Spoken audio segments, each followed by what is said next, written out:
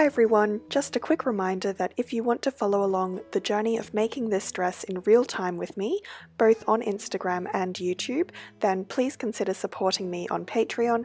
You get to choose how much to pledge per month, and you will receive live updates both on my close friends' Instagram stories and access to all of the YouTube videos right now. Hope you enjoyed the video.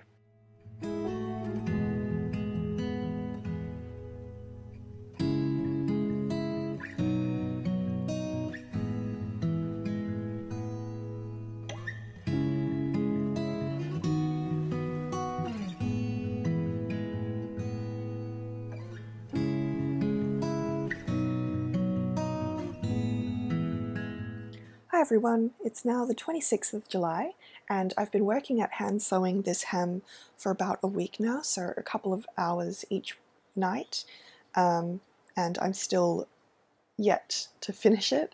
Um, I'm about, I'm going to say close to halfway done with the hem um, after about a week. Um, it is taking up a lot of time, but I think that's due to the fact that one, I don't have time to work on this um, throughout the week, and two, I am using a stitch that requires a bit more time and effort to do. I'm not doing a regular whip stitch. Um, if you if you saw Bella May's new video, well, it will be an old video by the time you see this video. Um, it's the one about making the skirt for her Phantom of the Opera masquerade dress based on the 2004 movie. Um, so she did the same sort of hem uh, where she did a facing for it. Keep in mind my facing is cut on the straight grain, hers was cut as an actual facing following the shape of her train. Um, and for that reason, she just did a regular whip stitch to attach the facing to the lining of the skirt. Um, that would have worked well for what she did because her facing was already already molded to the the shape of the skirt along the train. Uh, whereas mine, as you can see, like in, at points like this, I've had to pleat the fabric and make it fit because mine was cut on the straight grain. So this particular area now that I'm showing is the curved part of the train of the skirt, like the most curved part. Um, if I move towards like the front section of the skirt, um, you can see that the facing is a lot more straight and was a lot easier to sew through. So I'll just show a close-up of my stitching so you can see that. It's what I call the crisscross stitch because you it's little X's basically. Um, and the reason why I used this stitch instead of a regular whip stitch is because it allows for a little bit more ease in the fabric. Um, and as you saw here, I did need to ease the fabric into the shape that I need it to be.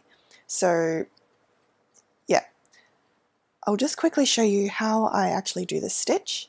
Um, so it's essentially little back stitches along the lining of the skirt and then along the facing of the skirt.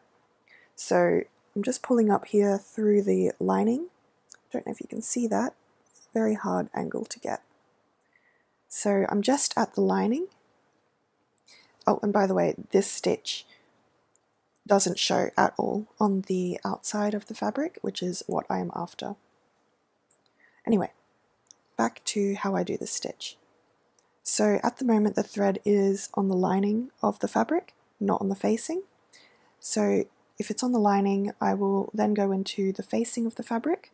Sometimes I will try and poke through the crinoline, sometimes not, just above the crinoline. Anyway, I poke through there. I make sure from the back side that I haven't caught the satin. It's not caught by the needle. Then I poke through just above there and I pull that through. So this is only catching the facing fabric, the lining fabric if I can, and sometimes the crinoline horsehair in there. So I pull that through. And now you can see that the thread is now on the, on the facing side.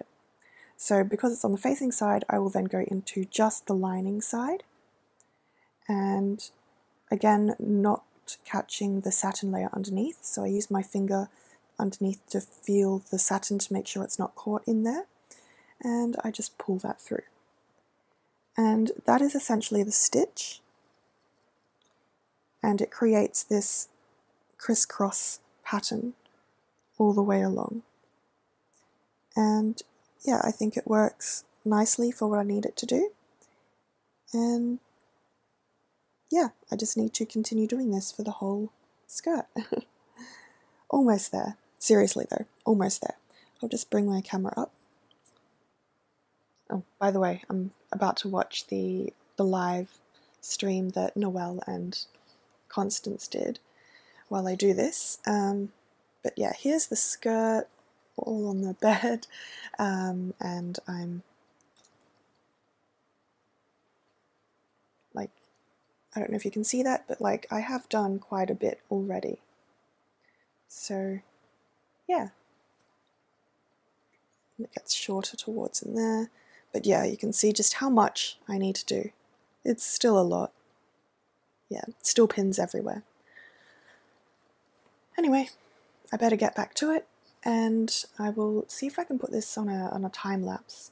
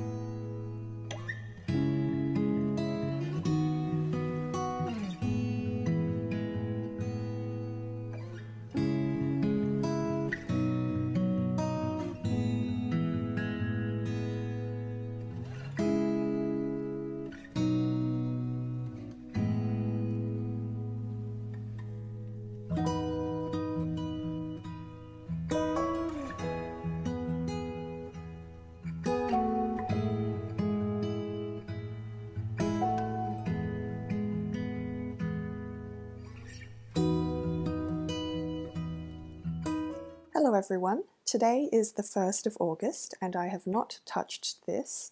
Um, all I've done is just put the skirt on the dress form. As you can tell, I've finished hand sewing the facing to the hem of the skirt. So this is how it looks and I've just put it on the mannequin with the train ruffle attached of course and I've just got the netting overlay over the top just to get me a bit more motivated although it isn't really helping. um, so if I go around to the front, um, you can see where the skirt hem is and on the inside it looks like this.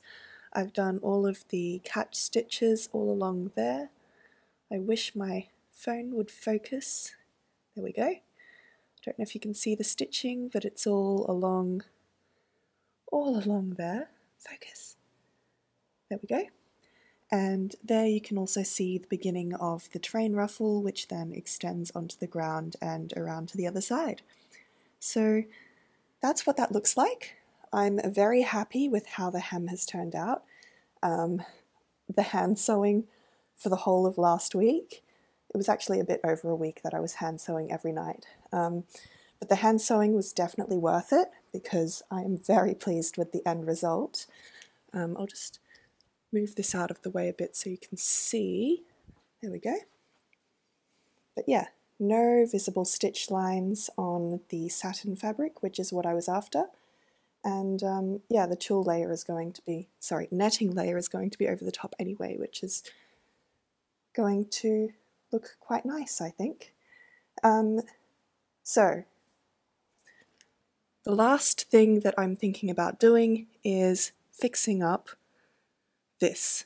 So this is the top of the train ruffle and it keeps flipping up, well, keeps flipping up like this and it causes this weird ridge um, and because this is a satin fabric it just it picks up where the light hits and it looks really odd. So what I'm thinking of doing with this is I'm either thinking of hand stitching this down all along the very edge. Um, in fact, I could actually just machine, machine stitch it. Um, but the other thing that I've been thinking about is at the moment, this train ruffle keeps peeking through whenever I move the mannequin around, like this, as you can see, and I don't want it to show through. So the other thing that I'm thinking about doing is attaching more snaps to the train, and I'm thinking about attaching the snaps, um, maybe like one there, one there, one there, and then maybe like one on each side. And so altogether that's five snaps around, maybe even six might be better. Having two there. One, two, three, four, five, six. Something like that, just to keep the skirt train on top of the train ruffle so the train ruffle doesn't come through. Um, yeah, that's just what I'm thinking. Um, and I would do that the same way that I attached the snaps for the actual train up there. Um, if you remember me doing, um, I did, I sewed, no, I didn't sew. I put the snaps on fabric before actually hand stitching it to the dress, and I only stitched to the lining layer of the dress. So, yeah, I'm thinking about doing that. We'll see what I end up doing. Um, but I think after that's done, that will be the last thing that I need to do for this base skirt. Um, as for the tacking stitches for all of the ruffles along the train, um, I don't know if you remember me saying, but I wanted to do some tacking stitches. I wanted to do some tacking stitches to keep this all facing that direction. Um, but then, but then I, I, that's too much work. I sort of don't want to do that. And the other thing is, is if I'm wearing this skirt and I'm walking forwards, then all of the ruffles are going to go this this way behind me naturally anyway, and there's no reason for me to be walking backwards in this dress. So I'm just hoping that all the ruffles will lay the way they need to lay, um, and then the only thing that I need to worry about is just attaching snaps um, around these points to keep the skirt on top of the train ruffle to hide it at all times. So yeah, still going, almost there, just a bit more to do.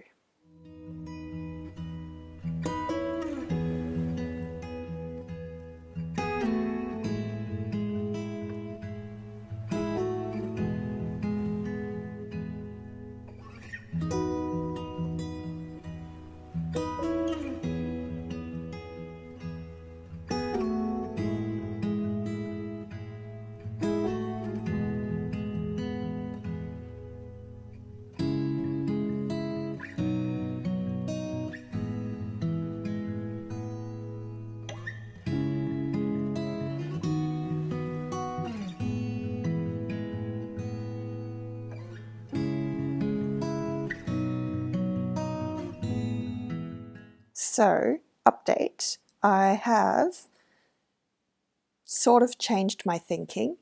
Um, what I've gone ahead and done is pinned down all, not all, but the bottom-most ruffles, and that is where I'm going to do tack stitching. So, yes, I am going to do tack stitching. Um, Along the very edge of the train ruffle, I'm thinking of just stitching the whole way along, um, just to keep that from flipping upwards, um, because it likes to do that. And then as for what I was thinking about snapping on the skirt to the train, I've decided that I'm not going to do it the whole way around. I want this to be free flowing, but I do want to make sure that these side parts do not have the train ruffle showing. So for that, I am going to just put three snaps on either side.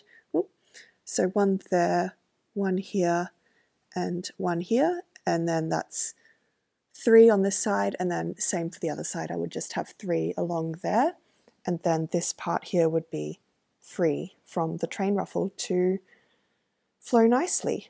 Um, there is still a little bit of a ridge going on um, with the train ruffle forming weird shapes and lumps and bumps, but honestly, I am happy with this. And with the netting layer over the top, it will sort of stop the shine coming through from the satin where there's weird lumps and bumps. And here's how it looks from the front. So yeah, pretty happy with that. And um, I guess the next step is to hand sew all of this down.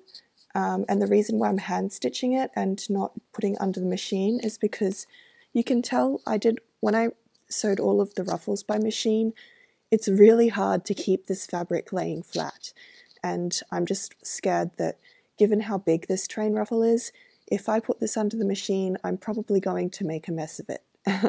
so I am going to just watch a movie or um, watch Reign. I'm up to season two, rewatching it again, um, and just hand sew.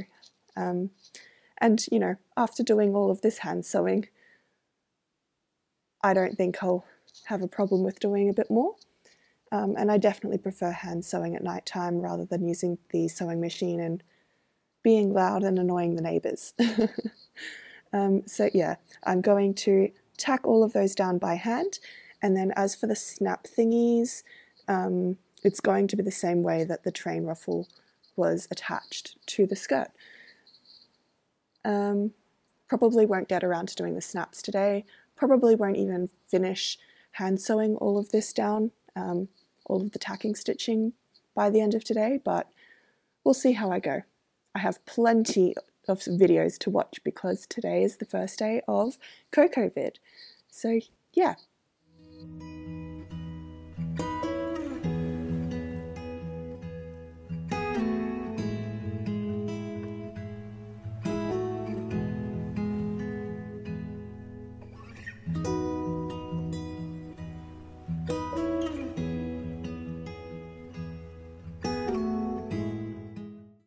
Got a little bit distracted, as you saw in the clips, and tried on the skirt instead. And then I also remembered that I had this.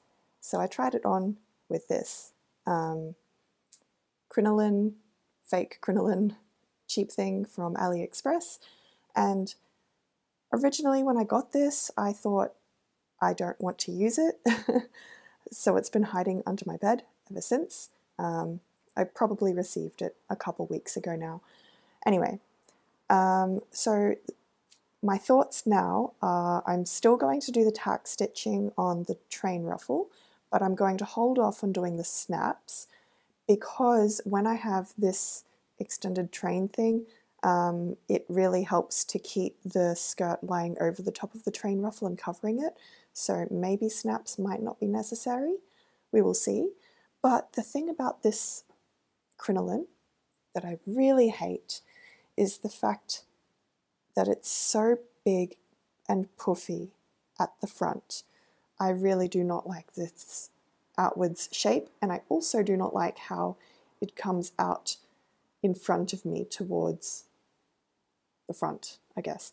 Um, so, as you would have seen in the clips, well, depending on how I edit them, um, I marked two points either side on the steel boning part of the crinoline. And what I'm thinking of doing is, and this is like following how some of the bustle skirt hoop thingies were made, um, where they, like early bustle that is, or late bustle is it? Late bustle, where they um, attach a string from here, I shouldn't say string, but some sort of yeah, some sort of string, whether it be ribbon or cotton tape or whatever, um, and you attach the string from there through to there, and it sort of collapses the skirt inwards. And then I'm thinking I would chop out this front section because I don't need that anymore, and I would just have like a flat or almost flat front. Um, and then I'm hoping that that will squeeze this inwards more and it will have a more streamlined shape, not this bell shape that I really do not like from the front view, um, but I really do want to keep this back train part because that really helps to lay the train out nice and how I want it. Um, so that's my thinking now.